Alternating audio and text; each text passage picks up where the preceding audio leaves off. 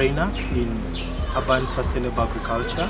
Today at our school, we are training the students that are soon leaving how to practice agriculture in a small area. Look at urban farming. First of all, urban farming is practicing agriculture in the cities. As you know very well, land is becoming a problem in our country whereby the population is increasing but land is scarce. So we came up with a concept of urban farming whereby the future generation learns how to grow vegetables in a small area using the affordable technologies. As you will see, we have trained them how to have the to make the to raise the sack gardens, the box gardens, using the tins, using the buckets.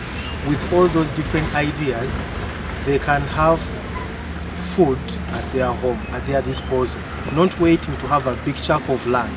But with these with these technologies that we have, they can have they can grow vegetables and have what to put on their sauce. And also, the surplus they can sell it to the market. This is our tomato seedlings, okay? So we put them on top.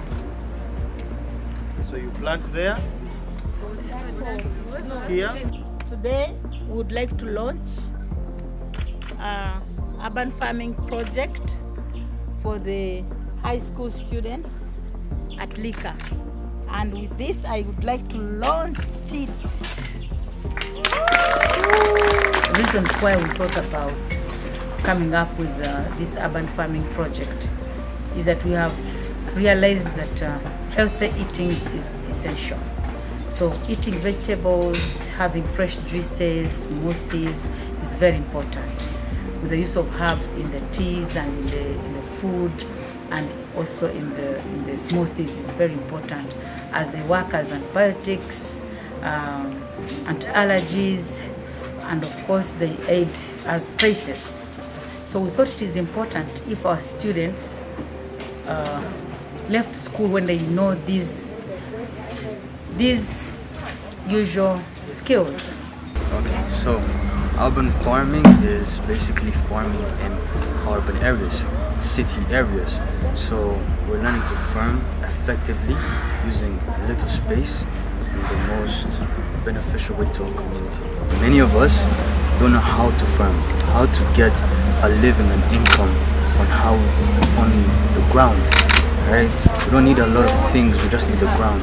If you know how to farm, you can always make means to live by. It was an exciting experience and I believe it has benefits in many ways. Um, for one, it can provide food for the community, whether it's the family at home or even just selling it to the people around. And I believe it's a means to um, sustain yourself. Um, can also be a means to gain um, I believe um, on a personal level, uh, it's a skill that I've gained, so it can help me sustain myself. Um, you don't know what situations you face in the future. And also, you can help the community around, your age mates, and also other people. You can reach out and not just um, give things to people, but you can also give them skills so they can go and sustain themselves. Uh, to the community, to the community around us, we thought it is important that our children can go around the community that lives near us to reach them out and give out this skill also. So they can learn to they can learn to to cultivate things in their compounds instead of just putting flowers, beautiful flowers, but when they cannot bring in money, the vegetable uh, gardens, the sack gardens can bring uh, can bring in money when they sell their vegetables to their neighbors, maybe to other people who visit them. So that one can earn them some money, and also it can also aid healthy eating of their families without them having to move around to buy.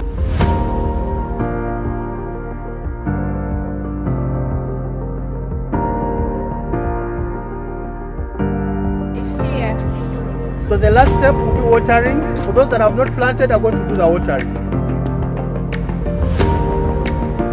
As we put these garden sacks in our compounds, we intend to uh, teach and give the community quality seeds quality seedlings, which they can also go and plant in their, in their compounds. And guess what? We're improving lives of people around us and those we have to find when we leave school. And another another reason why we came out with this as, as the high school Finch School, we wanted to go out to the deep in the community where we can teach the vulnerable, uh, the vulnerable young people. We intend to be selling these vegetables and seedlings to the parents who can afford, who want to support us, not just to give us money, but as they buy, they're supporting us. Then we are taking to that vulnerable community in the villages, in the in the urban centers who are just living. Some go on the streets, and then they'll be able to know what to do, maybe in their small areas. Then instead of going to spend time on the street and beg money or and go do unnecessary activities, they can spend time doing that.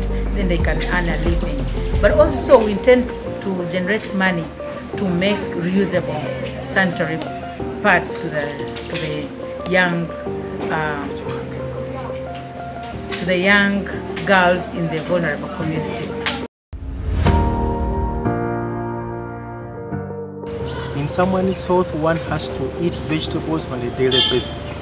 So that's why we are focusing on growing the leafy vegetables like lettuce, like spinach, like broccoli to help one to improve on their health and also to add more money like from sale to, to improve on their family welfare. So that's the reason why we are here and why we are training our young generation to practice urban farming in schools and also at their home where they are coming from. Our learners who are leaving school so that we can go and teach also the learner, the young community in the in the vulnerable community, I would say, so that they can save money to buy sanitary towels every month, and also they can also learn a skill. They can make them and maybe sell also to the others at a cheaper, affordable uh, cost than the sanitary towels in the in the market. And also in these gardens that we are planting, we also intend to uh, to make uh, uh, some skills. Like if you plant maize, it's not a matter of getting maize, eat it, and that's so, or sell it like that, but add value. So this week we also planted a lot of maize. Now we harvested it, and the children were making seeds. And these seeds where they were frying them, and then by doing that, they are learning that they can add value on these seeds, make them soft, and then they can also be an income generating uh, activity for the families at home, for their parents, and for the vulnerable community who have a lot of maize, but the only thing they know is just to put it on the head and move around with it. And yet, that is fresh, it can get spoiled quickly, but if it is dried and made in seed, it can stay for long. And as a school, also, we wanted to expand the knowledge of the students and the teachers and the community around us so that we don't only the student not only get theory and academics without getting um, other practical skills that can sustain the communities where they come from as they finish high school. Why we wanted to uh, basically to train our children, give them this skill of urban farming, sack gardens, because these days land is scarce. There is scarcity of land. So we want to teach the community that in that 100 by, by 50 plot that you have your house, you can have a full garden in your compound. Put in our seat in our hall like this. These days it is very hard to get uh, big land acres and acres to make farming and then maybe also move very far. But now you can live in a small place and have a complete farm in your garden. For instance, you can have a, a, a chicken on the side, you can have rabbit, which will help you get fertilizers for the for your sack gardens. You can have uh, vegetables to feed your chicken, and then you find that you have a complete setup in your house, which will bring uh, quality of life in eating and also in production.